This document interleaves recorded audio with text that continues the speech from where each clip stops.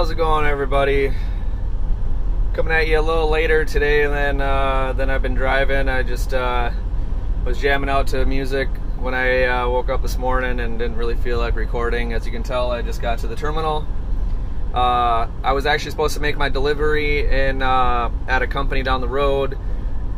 Uh, they wouldn't take the load today, so I ended up calling my dispatch and getting a um, a T-call set up here at the Memphis terminal.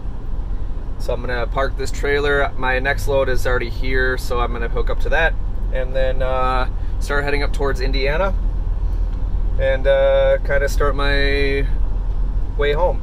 I'm gonna try to get some cool video for you guys. Um, backing into the spot, I'm gonna try to put the phone on the or the uh, camera on the trailer and uh, see if I can get some kind of cool different videos. But uh, anyways, this is gonna be a short intro. Um, hope everybody's having a good day, and uh, might be a short day of videos, but um, I'll put them all together and make it uh, make it look decent. So, anyways, we'll see you on the road.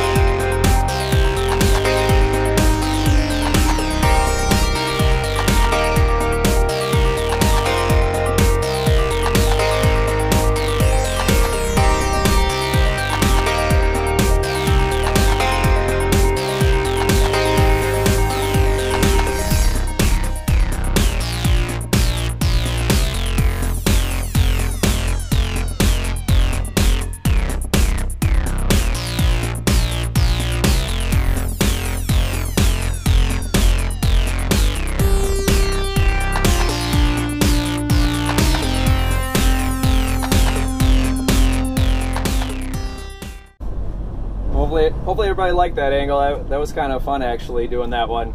Um, but yeah, we got uh, got the load. It's uh, 29,000 pounds going to Plainfield, Indiana. Actually, a Pep Boys distribution center. Um, got a load of Michelin uh, or Cooper tires actually. Um, 458 miles, just uh, just over seven hours. If you uh, if I ever tell you the how many miles I have, just divide that by 60 so you figure you know a mile a minute you know it's pretty easy to figure out. So 400 420 miles is seven hours. Um, but yeah so i got just over uh, seven hours to get out there. Got enough clock or time on my clock to get up there and uh, yeah. I'll try to get some video out there on the road. Um, it's a different part of indiana going through indianapolis so should be uh I'll try I know it'll be dark it'll be about 1 1 a.m. when I get there so. But I'll do what I can so. Anyways I'm, I'm trying to figure out cool after doing that one there mounting the camera on the back of the trailer I might do that one a couple more times I thought that actually looked pretty neat. Um, I try to I'm just trying to come up with some cool new angles and everything like that to show you guys. It's it's pretty fun I love this this mount. I mean this this thing is awesome it's these bend, as you can tell, I didn't bend them back yet, or bend them back straight, but this thing's amazing. I love it. Um, it's really helped to uh, bring different angles to the channel. So anyways, just about to hop on the interstate, so see you later.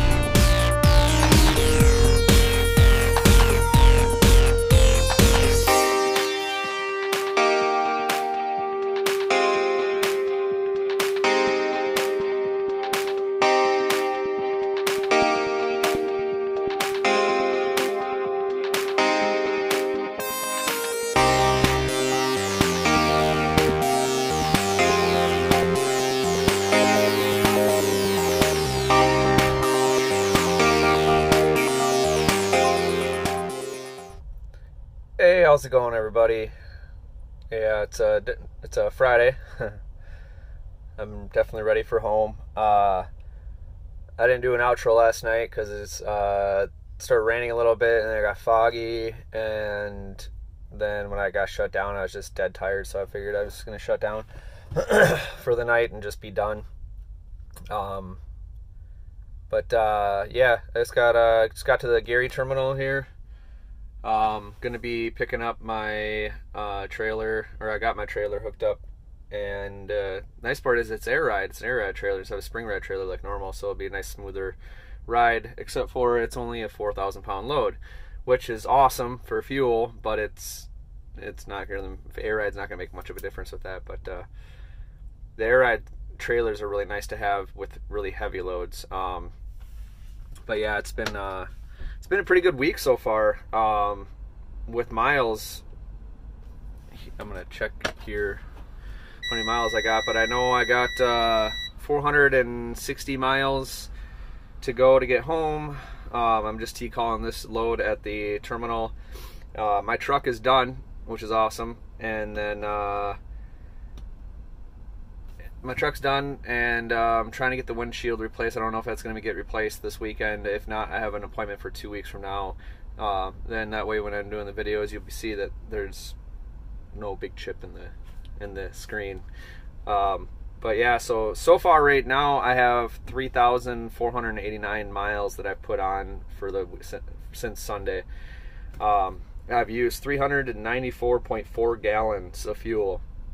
Oh, excuse me, if you times that by uh, three dollars a gallon, then you know how much I've spent on fuel.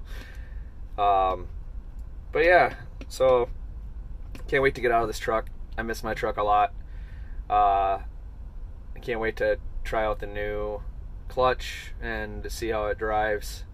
Um, I have a load leaving from uh, Post Cereal in Northfield, Illinois, or Northfield, Minnesota on uh, either Monday or Tuesday, whatever day I choose, and then I'm bringing that either to Memphis or to um, to Columbus, and I'm gonna be T-calling that because that load actually goes down to Florida, but uh, there's not much in Florida to get me out of there to get me back towards Minnesota, so we'll just bring it down in that area, and then that, that way I can stay on around the automotive stuff, which is what I try to stick stick around and try to do because that's the account that I'm on.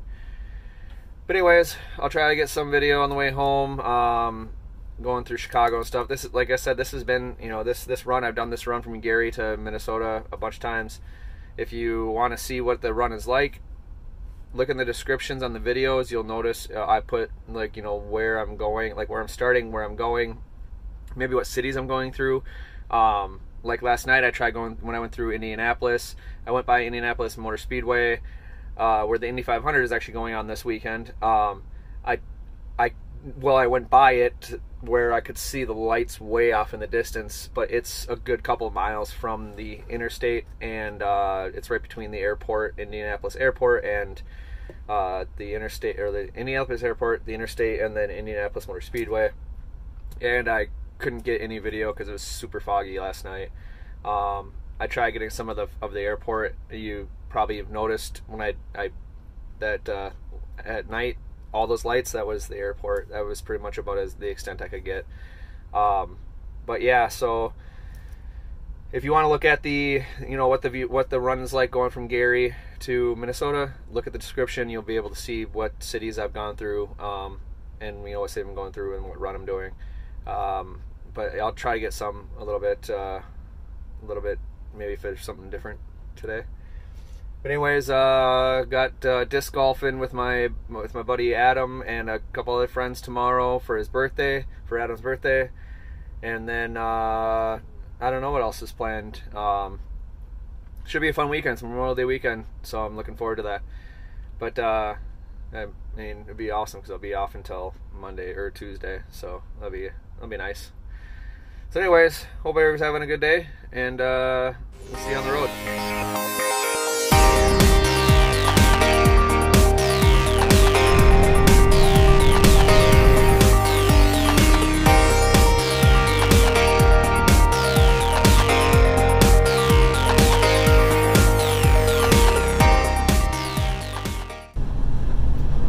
Normally wouldn't do this, but we're going pretty slow right now, so I wanted to show you guys this adaptive cruise that this truck has on it.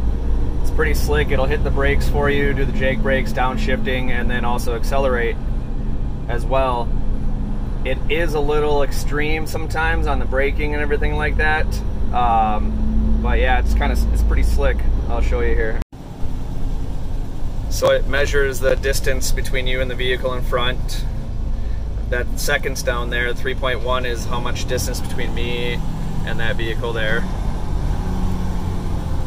And then right now, as you can see, it's downshifting and if you look over here, that's that one up in the corner is the brakes. So right now it's hitting the brakes. And it tries to do everything it can to keep a 3.5 second gap between you and the vehicle in front of you. If you see the 5 and then the A Econ, that's uh, fifth gear and it's an automatic and it's economy mode, which you can't change the mode other than manual and automatic. But then yeah, like look at I'm not even touching the throttle or the brake.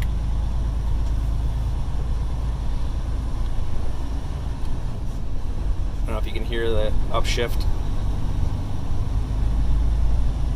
But it's kind of slick, so this is what it, uh, so it's an eighth. It automatically turns on the Jake brakes, uh, activates them when it needs to. And then, uh, there it goes and shifts again. So I, I didn't do that, and obviously I didn't shift because the shifter's right there. And yeah, see if I can get like a expanded view for you. As far as it goes. If you notice, so watch, I'll show you, you can hear it. There, just shifted again. But it keeps the distance between you and the vehicle in front of you. Now it's going to accelerate up until it gets to 3.5 seconds from the that car up there.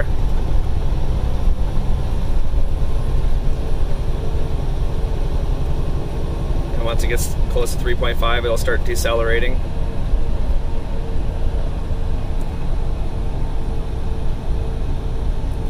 It'll maintain that gap. Yeah, it's pretty slick. Uh, that's the only nice part about this automatic that I like, other than the, um, it it does kind of hit the uh, brakes to an extreme, and it's a little tough to get used to. Um, been a few times it's jammed them on hard, and I'm like, what are you doing? Like, there's not that big of a gap, and it's yeah, but I mean it works. I'm sure it, this is a 17. I'm sure they probably have improved it since uh, then, but uh, yeah, it's got it. It works out decent. You know, unfortunately, it's not perfect yet, but it's kind of slick because my car has the same the same setup, and uh, that has stop and go on it, which is pretty slick. So it'll actually come to a complete stop and then accelerate again by itself from a standstill in uh, stop and go traffic. So that's uh, kind of neat to experience. I remember the first time that happened, I sat there and I had my foot hovering over the brake. I'm like, oh man. I don't know if I trust the computer, and uh, no, it worked, it, and it was pretty slick. But uh, the only downside is because it leaves such a big gap, everybody thinks, hey, I mean, everybody already thinks they can jump in front of a semi anyways, and it's okay and totally safe to do. But uh, when there's a three and a half second gap, it uh, it, it leaves um, a lot of space where people just jump in front of you, and then the truck reacts to that, and then the truck starts decelerating and sometimes if you jump in front too fast, it'll jam on the brakes. And that's happened to me a couple times since I've gotten in this. And I think there's actually a lot of people out there that do it that are, uh, and I'm going to say this very cleanly, that are big jerks. uh, that do that on purpose to uh, to try to mess with trucks. Don't do that. Just it's not safe for you. It's not safe for the driver. Um, it's not safe for anybody uh, because you do that yeah, you're in front, and you know the truck's gonna brake. You know it's gonna it's gonna hit the brakes automatically. But what if something happens to the truck and it takes out the car next to them, and it ends up hurting them, or the truck flips over because of uh, some you know some issue or something like that? Just always one thing, please, you guys. I don't know if you've learned anything from from me being a truck driver and following this, but be respectful and try to do everything you can to to give give trucks space and and don't cut them off. An, an extra 30 seconds is not going to change your day in getting off an exit ramp or um, getting to your your you know location. Uh, it's especially the last minute cutting across, coming across, and getting off the exit ramp. That happens. I can't even tell you how many times a day that happens to me. It's it's literally mind blowing. But uh, but yeah. So anyways, uh, just got into Wisconsin not too long ago. Um, got about 300 miles left to go. Uh, four or five hours left to drive. So I'm literally going to be getting there just at the end of my clock, and uh, I'm at almost my max. I'm on my 70. So I'll show you guys when I get stopped tonight.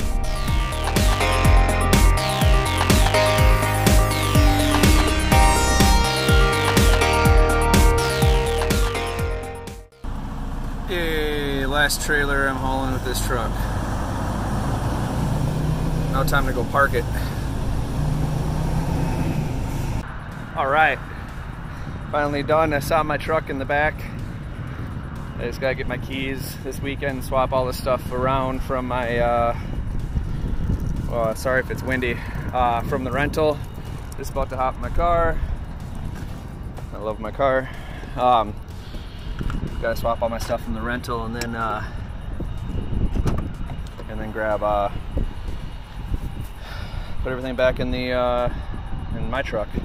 Oh, I tell you, just seeing it, I was super excited. I'm gonna. Uh, you can't. It was really dark in the corner where it was at. Wow, it was really windy out here.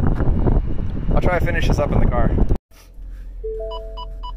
System ready. All right, now it's not as windy. Um, yeah, so my my truck's in back. I'm super excited. I wasn't gonna show you. I'm not gonna show you guys the uh, show. There wasn't much to see um, because of the uh, you know the daylight or being uh, it's dark as hell back there.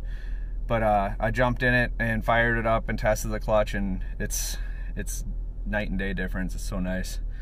Um, and man, did I forget and underappreciate how beautiful my dash is the lights and how bright the interior lights are compared to this freaking Freightliner. That's yeah, I'm excited as hell to uh, to get back in it this next week. I have a load already scheduled to pick up on Monday or Tuesday, and then bring that down to Columbus or uh, or um, or Memphis. So, anyways, but uh, head home and uh, got disc golf tomorrow with my boy Adam and Andy and I think uh, and Scott and uh, I think Matt. I'm not quite sure, um, and a couple maybe a couple other people, but uh, I'll get I'll get some video of that too, hopefully. Um, and uh, it's Adam's birthday, so yeah, it should be a fun weekend. Um, anyways, hope everybody has has a good uh, night, good morning, good day, wherever you're at, and we'll see you tomorrow.